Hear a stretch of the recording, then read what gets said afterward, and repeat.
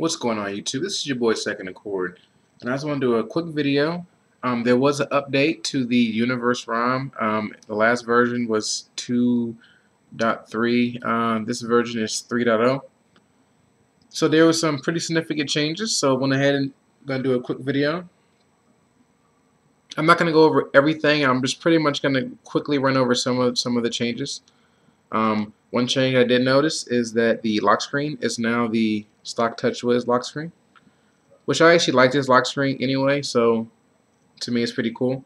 So now I have my weather on the lock screen. I don't know if you can see it. Uh, the camera's kind of bright, but um, like I have the cam, I have my weather, and I have on here.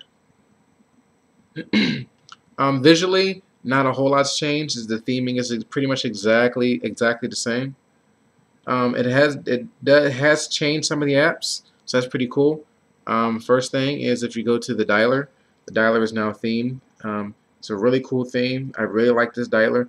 It functionally it is exactly the same as the TouchWiz dialer. So if you start dialing numbers, you'll see uh, you know it'll try to predict what contact that that you know that you're trying to dial.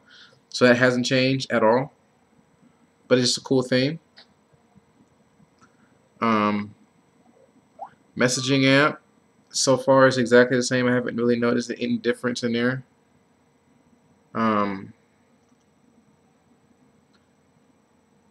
the music player is now the Samsung Galaxy S3 music player. So you have this cool music square where you can pick a it'll scan all of your music and you can pick a uh, an emotion and it'll play music based on that emotion. So it's really cool. It's a really good way to listen to music in a different order, in different ways. It's kind of like a shuffle, but it kind of picks similar feeling music, I guess. It's decent. So you have these cool things at the top. Another thing that has changed is the alarm clock. The clock application now is now the, the S3 alarm. So, so it's really, really cool.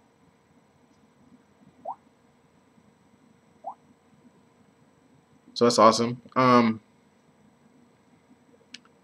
the clock application is still exactly the same. So no, so no change there.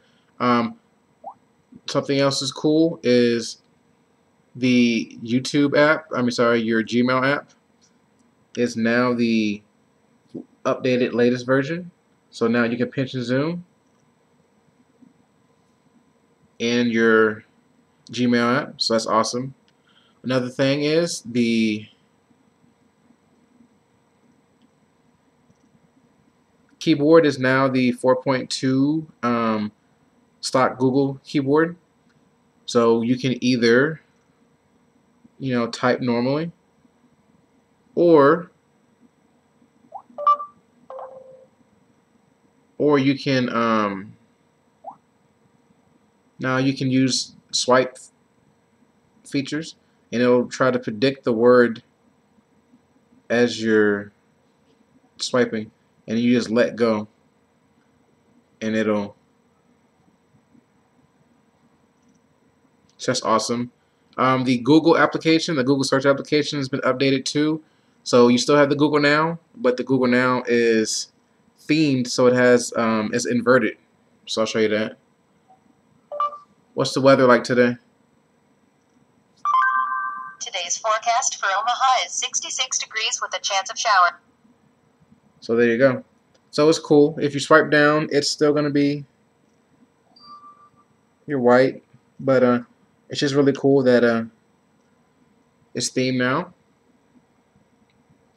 Um, another difference is the CPU Sleeper app that used to be on there is no longer there. So I don't know if uh, why they took took that out. But um,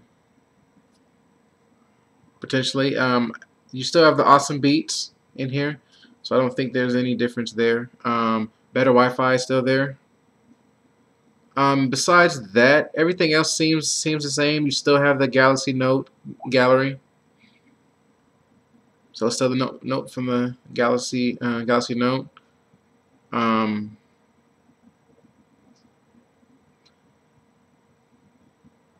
Besides that, I really haven't noticed any any other differences in the ROM.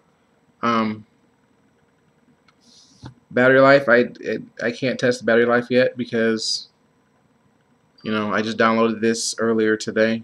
I haven't even cycled it cycled it yet. So um, besides that, to download this, you are going to um, you do not have to wipe your data.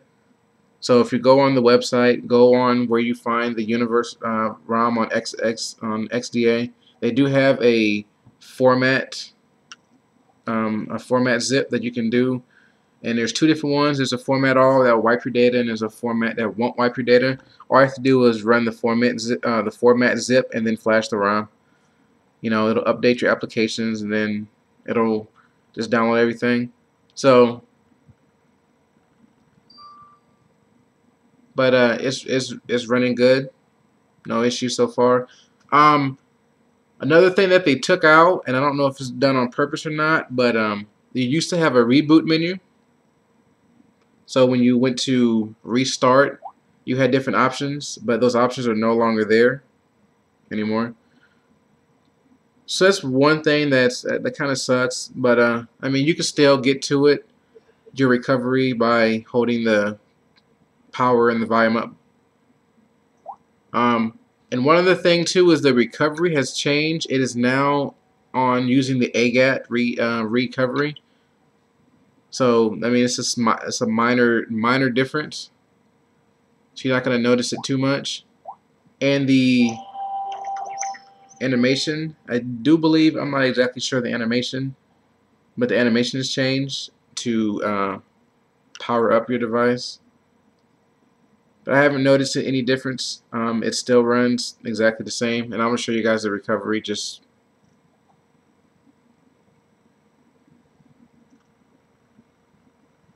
Oops. So yeah, so you're in AGAT re recovery instead of uh, the Blue Cuban recovery from before. And I'll show you guys the boot up.